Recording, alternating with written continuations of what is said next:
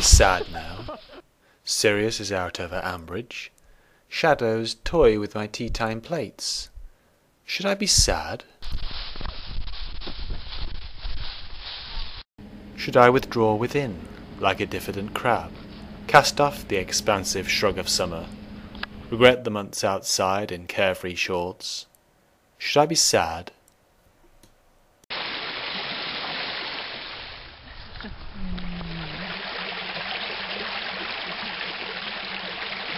Should we retreat behind brick-red battlements, walls medieval thick, slighted by no Yorkist siege, armoured curtains creaking rusty shut, pull down the portcullis of the year?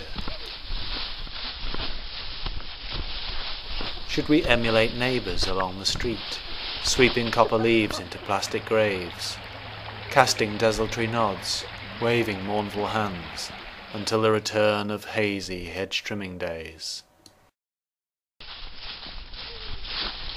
Should we stack up a pile of animal hides, crawl naked, burrowing into musky strata, nestling in fetal scrunches, while the roof tiles rattle and the gutters gush, as hedge pigs, snoring in the leaf litter lair, drifted high as the fallow deer's trembling thigh?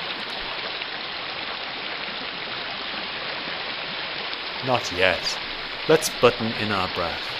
The sun is unextinguished still. We can rootle in the ancient dingles, where boar once sounded on the hill. For even as nature takes a dusky yawn, leans and drops her teeth into a rusty cup, this shivering invigorates my all-consuming lust for her. Though she lies furled in pre-Raphaelite curls, I I'm waking up. thank